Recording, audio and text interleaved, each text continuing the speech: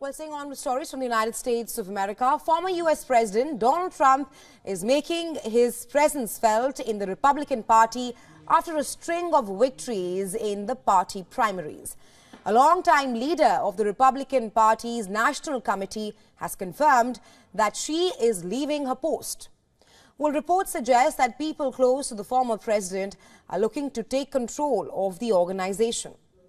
We're talking about Ronna McDaniel, who was elected as the chair in 2017 after running Trump's successful 2016 campaign in Michigan will step down on March 8th. That is three days after Super Tuesday.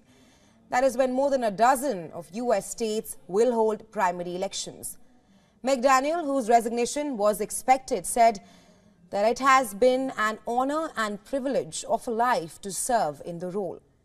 She added, and I'm quoting her here, the RNC had historically undergone change once we have a nominee and that it was always her intention to honor that tradition.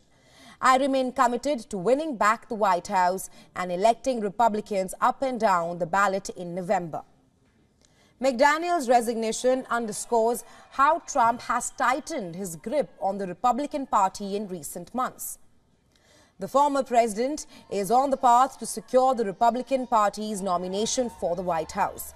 And that is after cruising to victory in the first four early voting states, which are Iowa, New Hampshire, Nevada and South Carolina.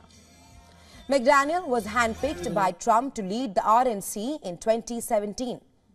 Trump recently said that he wants to install a new handpicked leader for the National Party ahead of the election this year.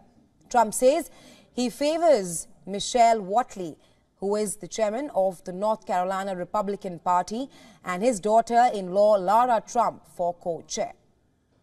Trump's endorsement all but guarantees their rise, though technically the committee's 168 members must decide on the next party chairperson.